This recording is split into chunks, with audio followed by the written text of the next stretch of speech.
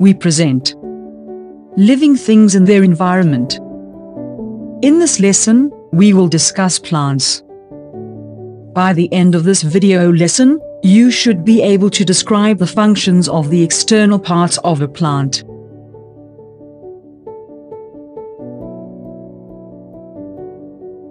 This is a plant. These are the leaves. These are the roots. This is the stem.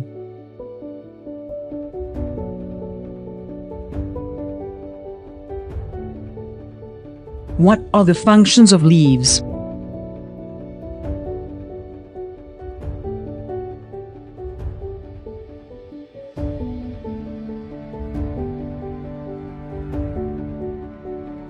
The leaves are the breathing organs of a plant.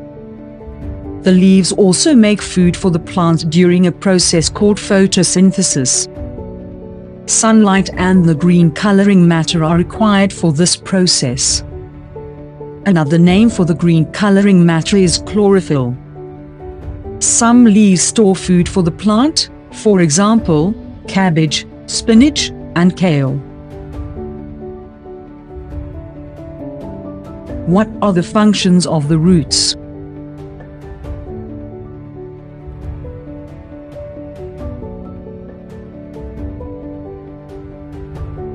The roots support the plant firmly in the soil.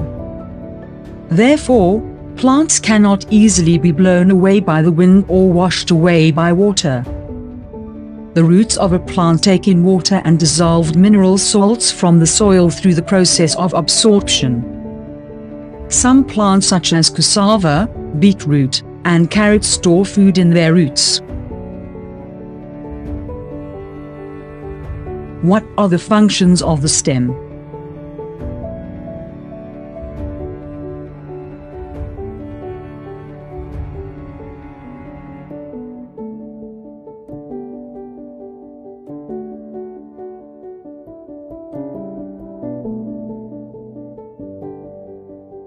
The stem transports water and mineral salts to the leaves.